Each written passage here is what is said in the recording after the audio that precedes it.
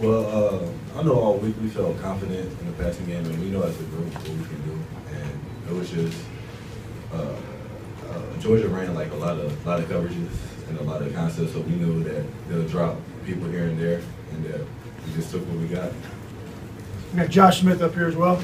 Josh Malone, talk about the, uh, the passes to, to Kamara, where he was going out in the flats and the receivers, it looked like you were, not quite a pick play, but close.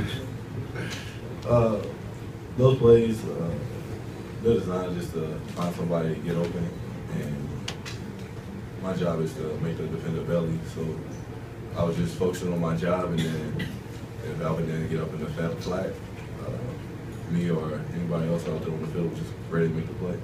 Obviously Malone, obviously y'all haven't had the, the start y'all wanted to have in the passing game this season. How good does it feel to kind of move the ball downfield a little bit, and how frustrating has it been to not have that happen?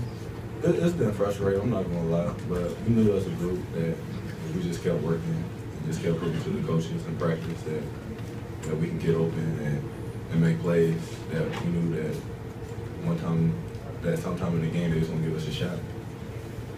Josh Smith, take me through the fourth and eight. Um, you know, what are you seeing when the ball's in the air? You know, just take me through what transpired.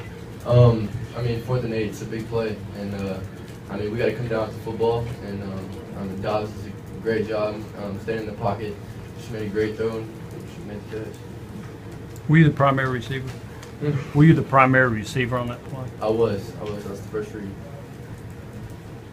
Josh Smith, I mean, that was, that was a big play over the middle. It seemed like you guys made several big plays down the middle of the field tonight. Is that more of a focus than it has been you know, against- against Georgia? You know, um, I felt like we had our, our confidence back, our swagger back, for real. Um, was, I could just sense it on the sideline, and um, I mean that was huge. But um, I mean, we really were focusing on throwing it down the field. I mean, we needed it. We got to take take the break off the uh, run game, and um, I felt like receivers came to play, and um, we made the plays that needed to win.